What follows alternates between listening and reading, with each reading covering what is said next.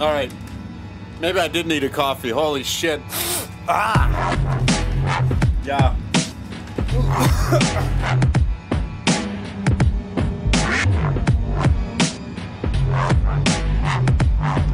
They ain't ready.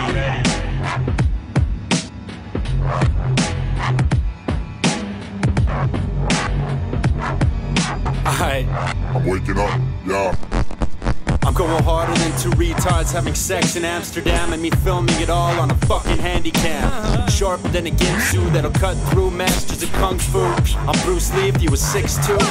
And I don't make music for any real purpose. I do it so people can run amok like when the Canucks lost the fucking Stanley Cup. Yo, this ain't even the half of it. I took 10 bottles of laxative, shit on the industry, and started to laugh at it. You're a goner and goner with gonorrhea, sharpshooter like Matt Bonner, Terminator, Sarah Connor, Kurt Cobain, never fucking reach Nirvana. MCs are softer than porcelain.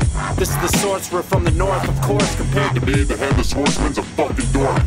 I'm somewhat insane, like Ichabod Crane. I will rip these lame brains main vein with the same string that used to hang Saddam Hussein. I'm a fucking cross between the Crypt Keeper and Mystique, and I'm raising the dead in a quiet storm like Mobb Deep. Who is that rapper? Stripes, don't mess with them. Why is that? Cause I'm a better man that's better than the best of them. A veteran at Letterman's Academy, and I'm deading them. Oh. Now, how you supposed to clap at me when you ain't got no hands? Cause I cut off your arms from the fucking elbows down. I throw on my scarecrow mask and huff paint fumes. My kill count passed an ill amount before high noon.